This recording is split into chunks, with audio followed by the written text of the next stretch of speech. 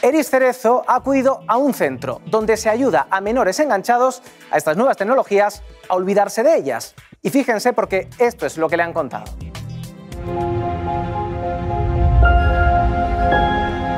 Lucía, una adolescente de 16 años, quiso salir del círculo vicioso en el que estaba atrapada.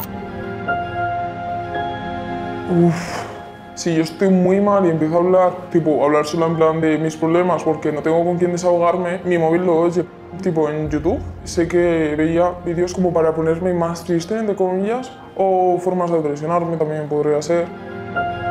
Veo cosas que me ponen mal, me dan cosas con las que me puedo ayudar a hacerme daño y ciclo. Mis padres lo revisaron todo, descubrieron todo, la adicción que tenía, los vídeos de las autolesiones. En ese momento las autolesiones mías eran un trofeo, tenía fotos de ellas. El uso del teléfono para Andrea potenció su agresividad con su familia.